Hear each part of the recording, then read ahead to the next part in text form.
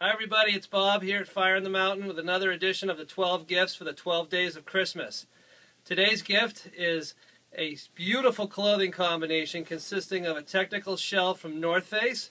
This is called the Symbiont jacket. It's part of the Cryptic collection from North Face, which combines technical construction with a spirited design. Uh, what's cool about this coat is it's it's bomb-proof construction. It is a shell. It's completely seam sealed, so totally waterproof. Its inside is what they call flash dry, so it's highly wicking. So when you get hot out there, it pulls the moisture away from you so you don't get wet and clammy. You have really nice uh, chest vents on this jacket to assist with that venting. It's got cool features like a little goggle chamois when you got to wipe from the snowstorm that you're, you're currently in. It's got a really nice powder skirt to keep the snow out. This powder skirt clips into the pants so the snow doesn't go up your back. And you got really nice interior pockets to store all your gear when you got to take it off.